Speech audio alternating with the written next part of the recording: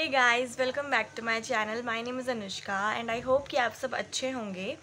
Guys IGNOU का exam मेरा हो गया इंग्लिश का। फ़र्स्ट एग्ज़ाम हो गया है, जो पहला था इंग्लिश का ही था, मैंने आपको बताया था। और मैंने सोचा मैं आपके साथ अपना एक्सपीरियंस शेयर कर देती हूँ बिकॉज़ मैंने फ़र्स्ट टाइम इग्नू का एग्ज़ाम दिया।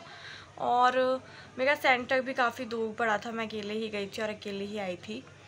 एंड uh, uh, अब जो मेरे पेपर होंगे वो मॉर्निंग के होंगे और एक शायद आफ्टरनून का होगा एक या दो। सो so, मेरा नेक्स्ट पेपर है वो मेरा टू अगस्त को है और मॉर्निंग का पेपर है वो मेरा। मुझे घर से अराउंड सेवन ओ क्लॉक निकलना पड़ेगा। बट हाँ मैंने एक चीज़ नोटिस की कि उनके एग्ज़ाम में कैसा होता है कि अगर आपका एग्ज़ाम हो गया है तो आप दे के जा सकते हो। मैंने ये चीज़ सोची नहीं थी कि मतलब ऐसा भी होगा कि एग्ज़ाम हो गया तो दे के जा सकते हो, चाहे आपका एग्ज़ाम एक घंटे में, डेढ़ घंटे में, जितने देर में हो गया हो, आप दो और जाओ। मेरा इंग्लिश का जल्दी हो गया था, बाकी बच्चे जाने लग गए थे तो फिर मैंने भी अपना दिया और फिर मैं भी वहाँ से चली गई। तो ये है मेरा इंग्लिश का, इग्नू का क्वेश्चन पेपर, छोटू सा, क्यूट सा अच्छा लगा मुझे। मैं करेक्ट दो बजे घुसी थी अपने सेंटर पे, करेक्ट टू मुझे लगा मैं लेट हो गई। बट बच्चे आराम आराम से आ गए थे। ढाई बजे भी बच्चे आए बच्चे आए पेपर दिया अपना। जब हो गया तब दे के चले जाओ। अच्छा है। क्योंकि अब तक मैंने ऐसी चीज़ कभी देखी नहीं है ना, क्योंकि सीबीएसई बोर्ड के एग्ज़ाम्स दिए हैं टेंथ के इलेवंथ के ट्वेल्थ के स्कूल में तो ऐसा नहीं होता कि हो गया, ठीक है, दो और जाओ। बट ऐसा इग्नू में होता है। और ये मेरा कोड है B E G A E one eighty two English communication skills और सो ये छोटा सा क्यूट सा पेपर था जो मेरे डेस्क पे रखा हुआ था। और बाहर ना गेट के आप लोग वो देखोगे तो पर्चे से लगे होते हैं। उसमें इनरोलमेंट नंबर आपका कौन सा रूम नंबर है, उसमें लिखा होता है। तो ढूंढना इट्स वेरी डिफ़िकल्ट बट मेरा नज़र गया और मेरे को अपना इनरोलमेंट नंबर दिख गया। वो मेरा लक था, ठीक है? जल्दी से मेरे को दिख गया, इतनी भीड़ थी, बस मैंने दूर से अपना नज़र मारा। हाँ हाँ मेरे को मेरा इनकोल नंबर दिख गया और मैं जल्दी से भागी अपने रूम की तरफ़। और इसमें जो क्वेश्चंस है ना गाइस मैंने कहा था ना, वैसे ही क्वेश्चंस हैं, जैसे मैंने सोचे थे कि इस बारे में थोड़ा सा लिखो अराउंड हंड्रेड वर्ड्स एक लेटर आया, एक लेटर लिखो फॉर्मल लेटर और online learning in Indian school के एडवांटेज एंड डिसएडवांटेज लिखो। तो ऐसा पेपर ही आया जैसा मैंने सोचा था और मैं अपना करके आई हूँ अच्छे से। बट वो एग्ज़ामिनर के हाथ में कि यार मुझे वो कितने मार्क्स देंगे कितने नहीं वो उनके ऊपर है।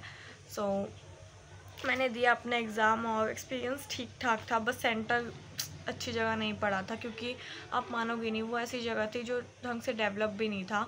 मतलब खेत हैं खेत दिख रहे हैं गाय मतलब गाय हैं खेत में और गाँव टाइप समझ गए ऐसा था वो एरिया जो मुझे काफ़ी दिक्कत हुई वहाँ तक पहुँचने में। बारिश भी हो गई थी और कीचड़ भी इतना हो रखा था उस जगह पर कि आपको बता नहीं सकती।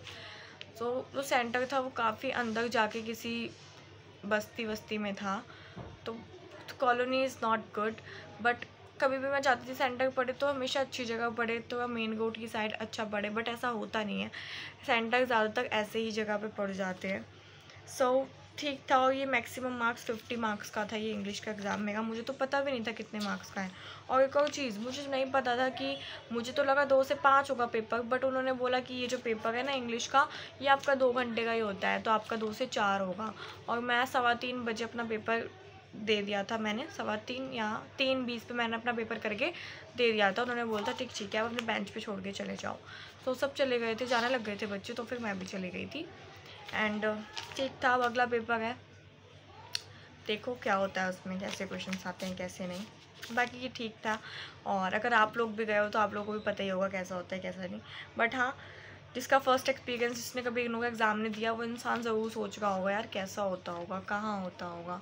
कुछ भी इतना वो नहीं होता गाइस वेरी बहुत ही मतलब नॉर्मल सा आराम से जाओ। और ना जल्दबाजी मैं कर गई थी, मुझे लगा मैं लेट हो गई हूँ बट नो मैं लेट नहीं थी। मेरे से लेट लेट बच्चे आ गए थे ढाई बजे, पौने तीन बजे।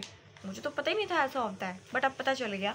बाकी सही है कि अब मैं भी जाऊँगी तो मैं इतना जल्दी जल्दी जल्दी जल्दी हड़बड़ाऊँगी नहीं, आराम से जाऊँगी, आराम से आऊँगी। एंड अभी मैंने रात के, मैं बता देती हूँ आपको, रात के नौ बज गए इस समय। और मैंने अभी वो कैब अपनी पढ़ी थी कंप्लीट एक घंटा मैं वो कैब को देती हूँ। अपनी, अभी मैंने एक घंटा वो कैब को दिया और फिर मैंने सोचा मैं वीडियो बना देती हूँ, क्योंकि मेरे से पूछ चुके थे कैसा गया एग्ज़ाम कैसा गया। ठीक गया, अब वो मार्क्स कितने देंगे पता नहीं मुझे। इस बार मुझे पता चल जाएगा, इस बार जो मैंने एग्ज़ाम्स दूँगी, इसका जो रिज़ल्ट आएगा, इसके जो मार्क्स मैं देखूँगी, उससे पता चल जाएगा कि ये लोग किस हिसाब से नंबर देते हैं और किस हिसाब से नहीं। बाकी जो भी था, ठीक था। एंड आई होप अगर आप न्यू हो तो प्लीज़ मेरे चैनल को सब्सक्राइब कर लो गाइस आप लोग सब्सक्राइब नहीं करते हो सो so, प्लीज़ कर लेना कमेंट करना and please like the video मिलेंगे नेक्स्ट वीडियो में।